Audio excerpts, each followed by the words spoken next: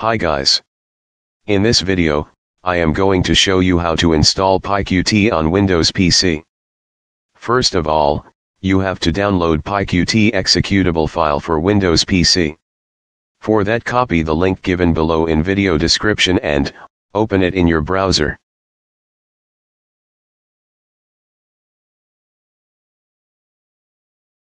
You can see the download page, find your installer based on your Python you have installed and the OS which you are running.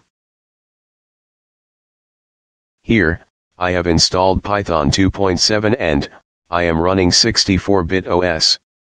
So this is my installer file.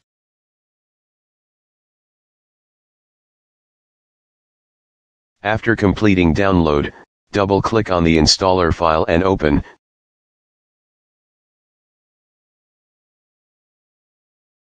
then click on Next button. After that, accept the license agreement and then click on Next and, verify your installer path. Wait until it finishes.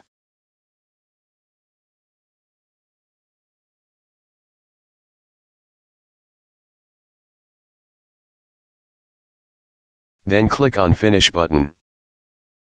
You have successfully installed PyQt on your PC. For opening Qt Designer, Go to Start menu. Scroll down you will see PyQt folder.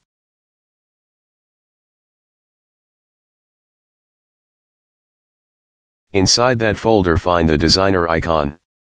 Click on it to open.